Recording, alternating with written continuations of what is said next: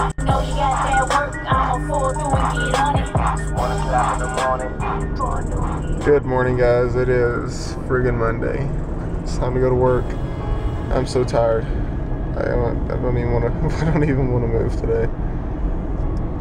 I'm running late because I couldn't get out of the bed. I just did not sleep well last night. Again, it's two nights in a row. If I don't sleep well tonight, it's just gonna be like havoc.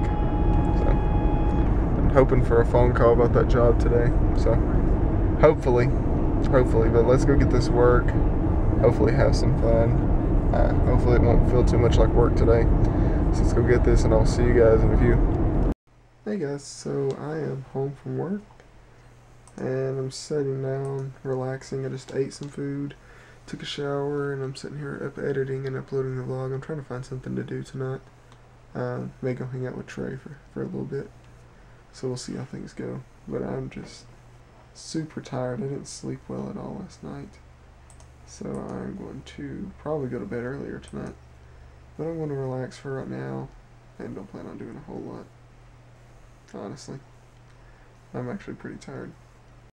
Hey guys, uh, I know you guys haven't seen a whole lot of me today. It's only a little bit after 11. I didn't get to go do anything.